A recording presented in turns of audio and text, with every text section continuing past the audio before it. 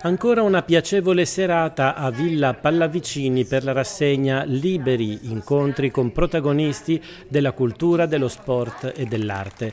Lunedì sera nel prato del Villaggio della Speranza, Monica Mondo, conduttrice di TV 2000, ha dialogato con Daria Bignardi, Don Claudio Burgio e con il cardinale Matteo Zuppi.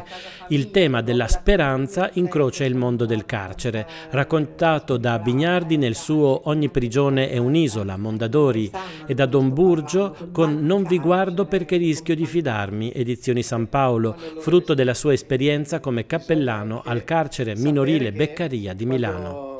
Daria Bignardi frequenta da anni il mondo del carcere per la promozione in esso di attività culturali e ne ha fatto oggetto anche di alcune trasmissioni televisive. Svetlana Alexievich, grandissima scrittrice, eh, premio Nobel nel 2015, eh, lei ha scritto tanto di, di guerra, del, quella che più ha raccontato la dissoluzione dell'Unione Sovietica. Lei, lei scrive in guerra l'uomo è come illuminato a giorno. Se è un vigliacco si vedrà subito, se addirittura se è un donnaiolo non tarderà a provarci, se è un...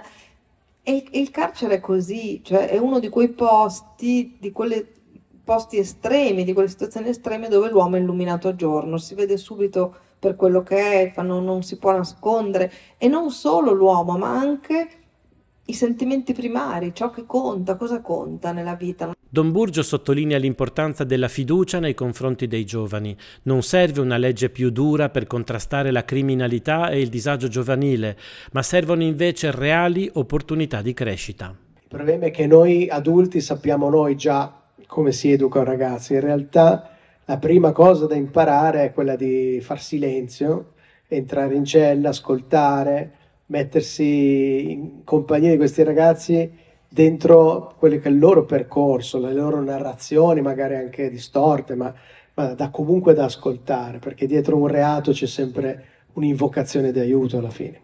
Il cardinale Zuppi in partenza per Gerusalemme con il pellegrinaggio di comunione e di pace promosso dalla diocesi petroniana ha ricordato come anche la memoria dell'odio che genera rancori può diventare una prigione invalicabile. La memoria diventa tragicamente una, una prigione, o meglio, che vivere senza memoria come sappiamo è pericoloso e eh, davvero diventa la condanna poi a ripetere e a rivivere quello che hai voluto dimenticare o non hai voluto conoscere. Ma c'è un punto in cui anche la memoria diventa una prigione. Perché? Perché ti lega all'odio, perché ti lega alla vendetta, perché ti lega al senso di ingiustizia e svincolarti da questo sembra quasi tradire la tua stessa storia.